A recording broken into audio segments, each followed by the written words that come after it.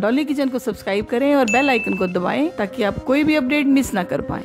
Hello everyone, Dolly kitchen में आपका स्वागत है। नवरात्रि के व्रत चल रहे हैं, बाहर से हमने कुछ खाना नहीं है क्योंकि व्रत के अंदर बाज़ार का खाते नहीं है और लॉकडाउन भी है। तो उसको देखते हुए मैं ये वीडियो शेयर कर रही हूँ आपके साथ क्योंकि बहुत बार ऐसा होता है कि हमारा दिल करता है लेकिन हम खा नहीं सकते।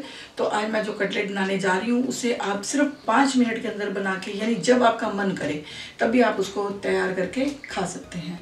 तो उम्मीद आपको ये वीडियो बहुत अच्छी लगेगी और आपके लिए बहुत हेल्पफुल होगी। तो चलिए रेसिपी को बनाना स्टार्ट करते हैं। इस रेसिपी को बनाने के लिए मैंने आलू लिए हैं। छील के तीन आलू मैंने पानी में डिप करके रख दिए हैं ताकि ये काले ना हो। इसे हम ग्रेट कर लेंगे। ये कच्चे आलू हैं बॉयल्ड आलू नहीं है। कच्चे आलूओं को हमने ग्रेट कर लिया है। हाथों में लेते हुए इसे इस तरह से निचोड़ लेंगे। यानी इसका पानी जो है हमने निकाल देना है। इस तरह से हम पानी निकाल देंगे।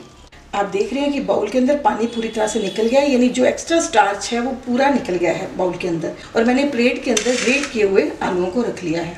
तो हम स्पेशल व्रत के लिए बना रहे हैं तो हम करेंगे क्या? इसको हमने अब बाइंडिंग देनी है। बाइंडिंग देने के लिए हम डालेंगे इसके अंदर स्वाग का आटा। ये मैंने स्वाग का आटा लिया, आधा बाउल। स्वाग का आटा जो होता है वो नवरात्रि व्रत के अंदर खाया जाता है। इसे हम बाइंडिंग के लिए डाल लेंगे।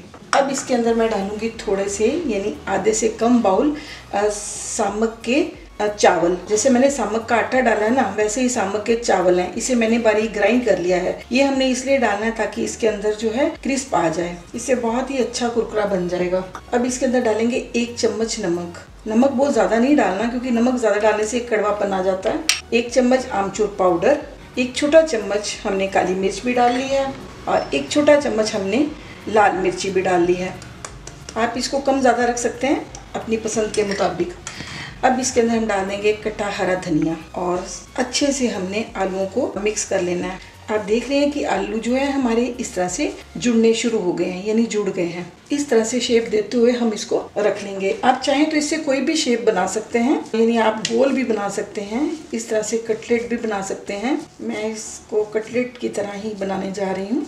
इस तरह से सारे हमने कटलेट्स तैयार कर लेने हैं। तेल को मैंने गैस पे रख दिया है गर्म होने के लिए और ये दो चम्मच मैंने सामक काटा लिया है, जिसका पतला घोल तैयार कर लिया है। और ये एक प्लेट के अंदर मैंने सामक के चावल लिए हैं, जिसको बारीक पीसा हुआ है। जो मैंने आलू के मसाले के अंदर भी डाले थे, वही मैंने थोड़े से प्लेट में ले लिए हैं कोटिंग के लिए। एक कटलेट उठाएँगे और इसके अंदर करेंगे डिप। डिप करने के बाद कोट कर देंगे सामक के चावल के अंदर। इस तरह से हमने कोट कर दिए, कोट करके हम रख लेंगे। पूरे तैयार करके हमने रख लेने हैं, जब तक कि हमारा तेल गर्म हो रहा है। आजकल आप बाज़ार तो जा नहीं रहे होंगे, ना ही बाज़ार से आपको कुछ खाने को मिलेगा। तो उसके अंदर आपके लिए बहुत अच्छा ऑप्शन है। आप बिल्कुल बाज़ार जैसे, बल्कि मैं ये कहूँगी कि बाज़ार से भी अच्छे कटलेट्स जो हैं, वो घर में बना के खाएँ। क्योंकि व्रत भी चल रहे हैं और लॉकडाउन भी चल रहा है। तो इसलिए बाज़ार का तो हमने खाना नहीं है। और इसके अंदर सबसे बड़ी बात ये है कि आपको आलू को उबालने का झंझट नहीं है। कच्चे आलू हैं, जब आपका मन करे तभी आप इसे बना के खा सकते हैं। वरना कई बार ऐसा होता है कि मन करता है, लेकिन आलू उबालने के झंझट में हम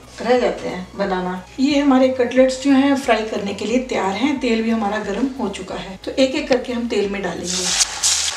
ध्यान दें, फ्लेम जो है हमने लो रखनी है, यानी लो, मीडियम। हाई पे नहीं करना। क्योंकि अगर हम हाई पे करेंगे ना तो बाहर से तो हमारे एकदम ब्राउन हो जाएँगे और अंदर से जो है वो कच्चे रह जाएँगे। आपने ध्यान रखना है।